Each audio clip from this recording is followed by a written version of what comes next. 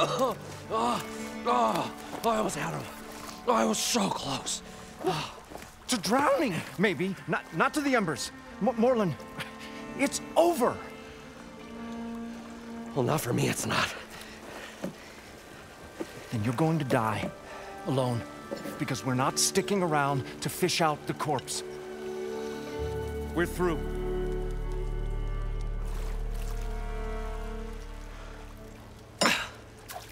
So the visionary's fate hung in the balance.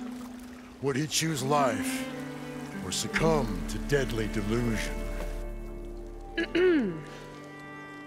Hello.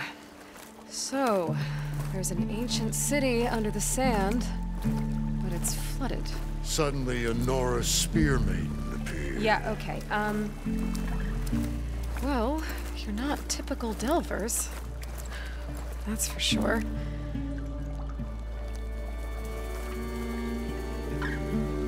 What's this? Uh, I, I call it a diving bubble. This is the Mark One. The Mark Two was better, but uh, it got stuck halfway down. Air tube snagged.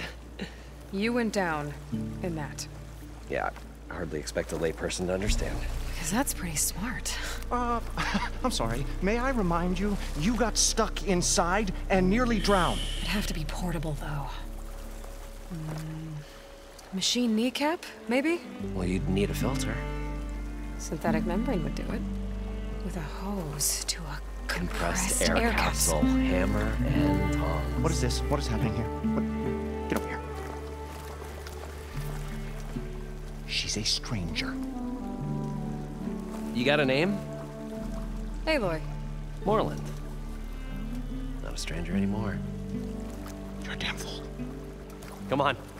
I got the original schematics over here. Oh, um.